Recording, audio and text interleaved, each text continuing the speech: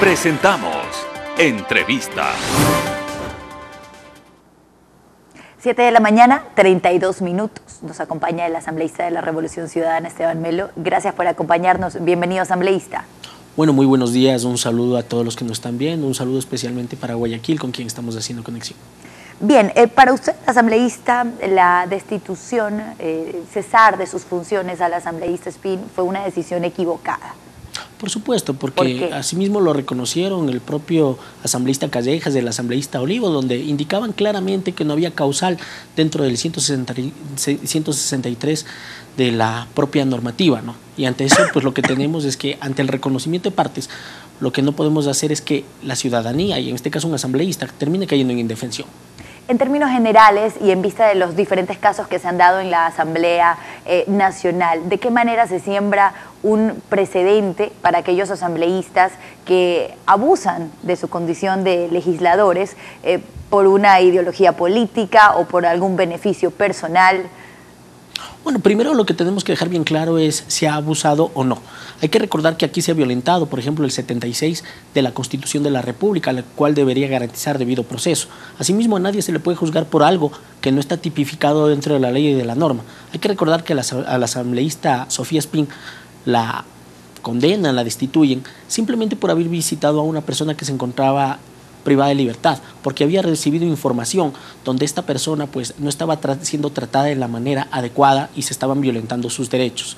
Lo que tenemos es que también se violenta el 127 de la Constitución de la República, donde se establecen los términos por los cuales puede ser destituida una eh, asambleísta y evidentemente lo que están haciendo es intentando acallar esas voces que hablan de legalidad. Sin embargo, la asambleísta Spin reconoció que cometió un error, también dijo pues que no merecía su destitución, pero eh, se amplió el plazo para que ella pueda eh, presentar pruebas. ¿Estas pruebas no, no fueron eh, suficientes, no demostraron su inocencia? Mire, voy a recordar las palabras del asambleísta Olivo, el cual dijo que simplemente esto era un tema político. Evidentemente, el momento en el que de manera mañosa la asambleísta María José Carrión saca esa votación cuando se estaba discutiendo ya una, una moción previa. Simplemente lo que tenemos es que ante eso era una mañosería porque no tenían el número suficiente de votos. Veamos qué es lo que pasa. Los propios miembros de la comisión, entre esos del asambleísta Callejas, el cual se había pronunciado antes, lo cual si él sería juez podría considerarse prevalicato, pues simplemente lo que tenemos es al no tener los votos modificaron, uno, el esquema de votación y dos, buscaron presionar a los asambleístas. Y ese es el resultado. Por eso es que se eh, terminan teniendo la votación. Hay que recordar también cómo fue la votación, ¿no? Eso parecía el muro de los suplentes. Varios asambleístas principalizaron a sus suplentes porque sabían perfectamente que va a tener consecuencias legales. Asambleísta, el siguiente paso para este caso específico de la ex asambleísta Spin, ahora ex asambleísta, eh, instancias internacionales. Bueno, evidentemente lo primero que tiene que hacer la asambleísta SPIN es eh, establecer una acción de protección. Al no tener corte constitucional, el proceso será mucho más expedito e ir a instancias internacionales donde evidentemente le van a dar la razón, porque fueron varias las irregularidades. Primero, un procedimiento express cuando el asambleísta Esteban Bernal no presenta una declaración juramentada, sino simplemente un reconocimiento de rúbrica, se está violentando en forma el proceso. Segundo, que el propio CAL, el mismo día 8 de octubre que se presenta la denuncia por parte del asambleísta Esteban Bernal, de paso, pues simplemente está violentando el, legítimo derecho a la defensa.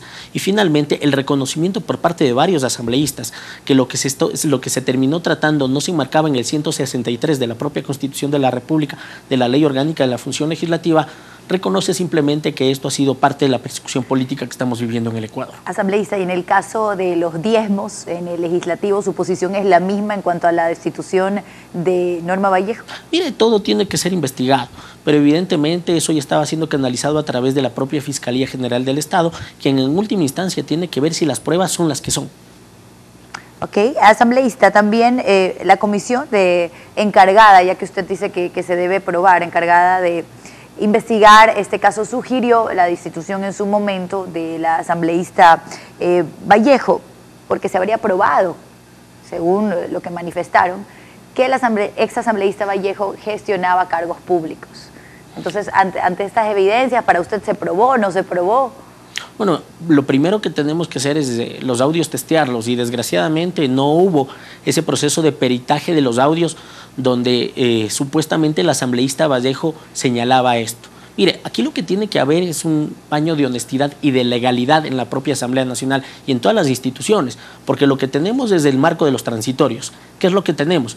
Tenemos un fiscal que era encargado y que evidentemente al ver la mala gestión que había realizado, ha buscado refugiarse en otros espacios. Tenemos versiones contradictorias de sus propias amistades, de sus propios amigos. Hace un momento, en la entrevista que realizaron aquí, eh, se estableció claramente desde el círculo cercano del ex fiscal que él sale por presiones políticas que había recibido. Y aquí quien está interfiriendo en la justicia, bueno, pues termina siendo el gobierno nacional a través de cadenas nacionales, del propio sistema de Twitter cuando el presidente de la República llama a los asambleístas a hacer lo que él desea que hagan. Aprovecho que usted está acá. Eh, antes de, que se nos termine el tiempo para preguntarle sobre la proforma presupuestaria, porque en estos días, hasta el viernes, eh, debería ya presentarse eh, pues esta revisión que hacen los asambleístas para llevarla al Pleno, para la votación. ¿Cuáles son sus observaciones de la misma? Bueno, lo primero es que una proforma presupuestaria debe ser confiable y evidentemente no lo es. Lo que tenemos es datos relevantes como el ingreso petrolero, un ingreso petrolero que termina generando incertidumbre. Hay que recordar, por ejemplo, que están estableciendo una, un barril de petróleo de 58,29%, cuando en realidad el precio del barril del petróleo que se está estableciendo a nivel internacional mínimo es de 65 dólares entre 100 dólares. Y esto sin tomar en cuenta las sanciones que se han dado contra Irán. Esto que en principio podría parecer eh, prudencia, simplemente lo que te termina determinando es que a través de la ley de reactivación económica dijeron que si había un exceso en el valor del precio del barril del petróleo, eso iría a un fondo. Simplemente lo que quiere desde el gobierno nacional es generarse los fonditos. Por otro lado, establecen una producción de 206 barriles de petróleo. Esto significaría un incremento de la producción del 9%. Pero hay que recordar también que en los propios datos que nos emite el sistema petrolero es que la, es que la producción petrolera ha caído un 3,5%. Ante esto, lo que tenemos que, están esperando un incremento de una producción del 12,5%, un completo absurdo ecuatorianos. No es confiable porque, entre otras cosas, lo que tenemos es que también nos establecen un sistema de privatización en los propios documentos que nos plantea la, la proforma presupuestaria. Nos hablan de que ellos estiman ingresos de prácticamente mil millones. Y ante eso lo que dicen es que aplicando la ley de alianzas público-privadas y aplicando un sistema para poder generar nuevos recursos para proteger la inversión social, realizarán un conjunto de ventas y ya están en evaluaciones con el propio Banco Interamericano de Desarrollo. Lo que nos están diciendo es que viene un proceso de privatización cuando en realidad lo que deberían de fomentar es las alianzas público-privadas para poder generar nuevos elementos para los ecuatorianos. Asambleísta, muchas gracias por acompañarnos esta mañana. Muchísimas gracias, un fuerte abrazo. 7 de la mañana, 40 minutos, breve pausa comercial, amigos televidentes, regresamos con más información.